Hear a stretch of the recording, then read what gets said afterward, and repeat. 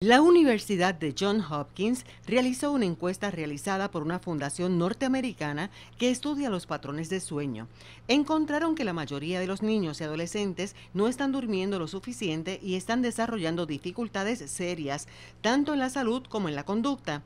La falta de sueño se asocia con obesidad, diabetes, problemas cardíacos, depresión infantil, cambios metabólicos y hormonales. También pobre desempeño escolar como dificultad para concentrarse, estar alerta, atender, memorizar o recordar material nuevo. Una hora de sueño menos a la semana equivale a que perdiste una noche de sueño al final de la semana. A veces estamos buscando algo tan complicado, estamos buscando enfermedades, estamos buscando y algo tan sencillo como que necesitan dormir más.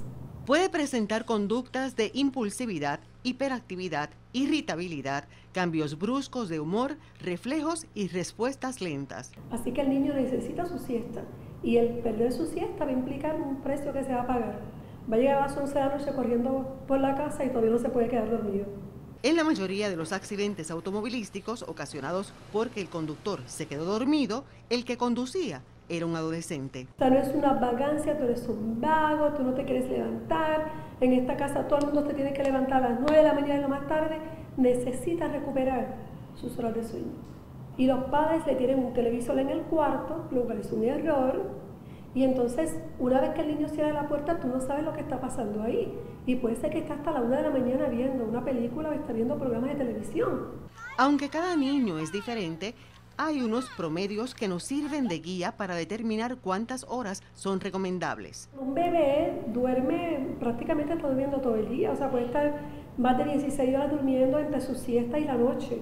Los niños de 1 a 3 años también duermen más de 14 horas, eh, contando la noche y sus siestas. Luego de 3, de 3 años, muchos niños no necesitan siesta, entonces ya están durmiendo sus 12 horas. Debe crear una rutina no debe ser extenso. Puede consistir en un baño tibio, leerle un cuento breve, actividades pasivas para bajar revoluciones y poner música instrumental. Se modelo, las horas del sueño son sagradas para toda la familia, incluyendo a los padres. No son opcionales, son una necesidad. No recargue a su hijo con todas las clases y actividades disponibles, que al sumarlo al trabajo escolar le quitará a tu hijo horas de sueño que necesita.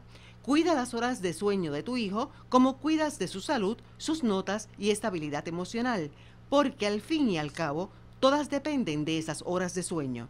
Leslie Cruz Noticentro.